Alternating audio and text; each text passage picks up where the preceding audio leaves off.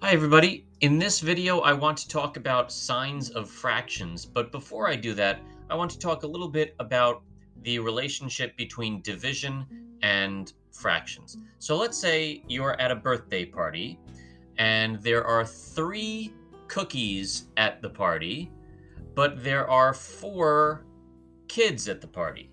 So it's a pretty lousy party. They didn't uh, buy enough cookies for all the kids.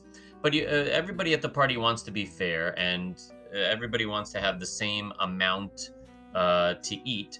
So, how could you divide these three cookies fairly between the four kids at the party? How much uh, would each kid get? So, you can pause the video and think about that for a second. We're trying to figure out what three divided by four is equal to, not as a decimal, but as a fraction. What would that be?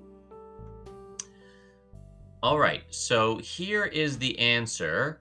I painted the kids' faces, so let's pretend it's a face painting uh, birthday party um, so we can better see the answer to this problem.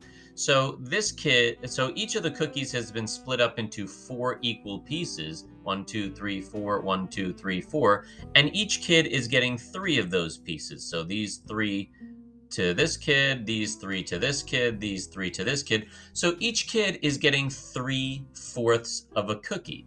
So the answer to this problem over here, 3 divided by 4, is that 3 divided by 4 is equal to 3 fourths. If we take 3 of something and split it equally into 4 pieces, then each piece would be 3 fourths of a whole.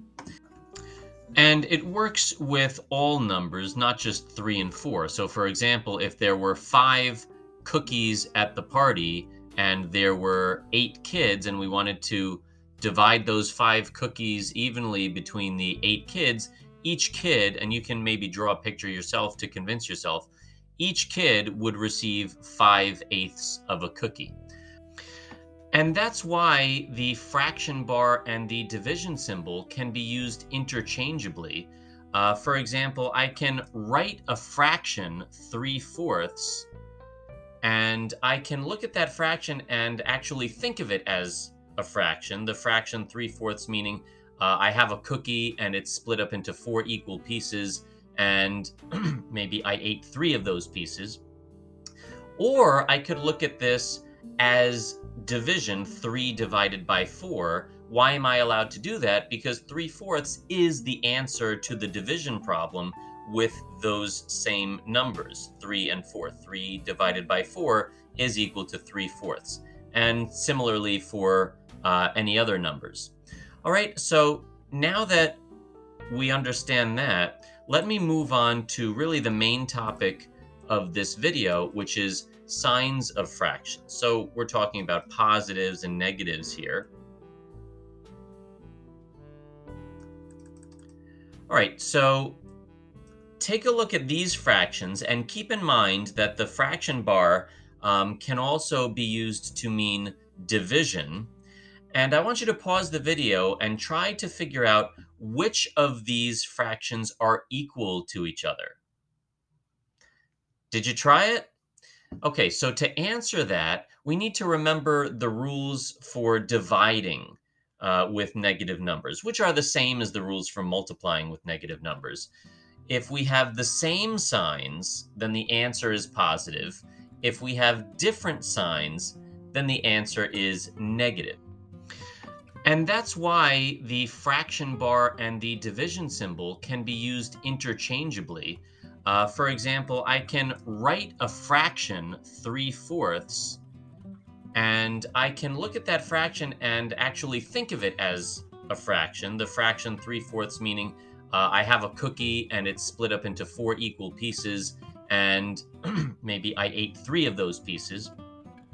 Or I could look at this as division, 3 divided by 4. Why am I allowed to do that? Because 3 fourths is the answer to the division problem with those same numbers, 3 and 4. 3 divided by 4 is equal to 3 fourths. And similarly for uh, any other numbers. All right, so now that we understand that, let me move on to really the main topic of this video, which is signs of fractions. So we're talking about positives and negatives here. All right, so take a look at these fractions and keep in mind that the fraction bar um, can also be used to mean division. And I want you to pause the video and try to figure out which of these fractions are equal to each other. Did you try it? Okay, so to answer that, we need to remember the rules for dividing uh, with negative numbers, which are the same as the rules for multiplying with negative numbers. If we have the same signs, then the answer is positive. If we have different signs, then the answer is negative. So over here uh, in this first fraction, we have a positive divided by, because we're thinking of the fraction bar as division, a positive divided by a negative. So we have different signs here. So this fraction is negative. I'm going to just write an n here to mean negative.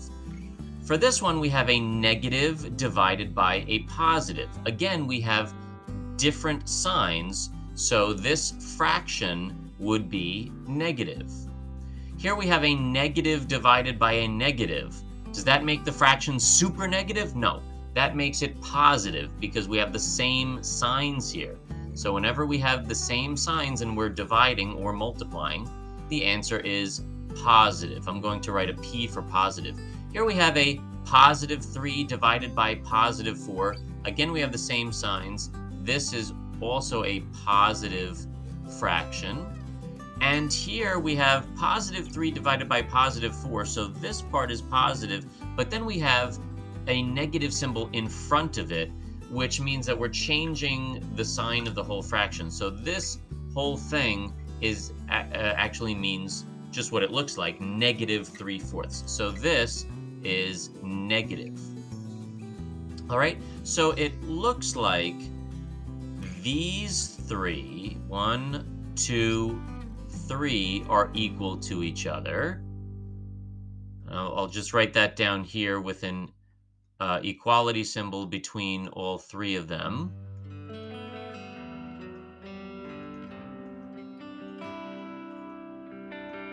So 3 over negative 4 is the same as negative 3 over positive 4, which is the same as negative 3 fourths. Okay, and these two are also equal to each other. So negative 3 over negative 4 is actually the same thing as just 3 over 4. Negative 3 over ne negative 4 is the same as 3 fourths, okay? Um, everything, every fraction here, this one, this one, and this one, uh, is negative, and every fraction here, this one and this one, is positive. So just remember that two negatives is the same as no negatives when we're talking about fractions. In other words, if I see a fraction with two negatives, a negative in the numerator and a negative in the denominator, that's the same thing as a fraction with no negatives because both of these fractions are actually positive. They're equal to positive 3 fourths. And another thing to keep in mind is that one negative can be put anywhere. So if I see a fraction with uh, a negative symbol in the denominator, I can sort of take that denominator and put it into the numerator or just put it out in front and it all means the same thing. It all means negative 3 fourths. Okay, so uh, that's it. These rules follow uh, pretty directly from the rules for dividing with negative numbers. Um, yeah, so that's it, and have a great day.